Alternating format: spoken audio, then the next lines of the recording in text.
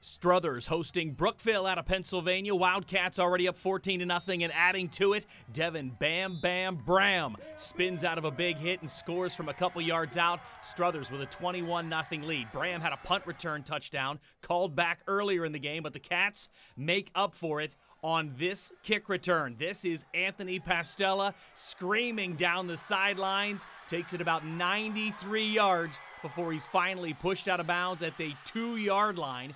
Anthony Carter would clean up the rest with a short touchdown run. Struthers bounces back with a win 48 to 7. Stay tuned for extended highlights from tonight's game.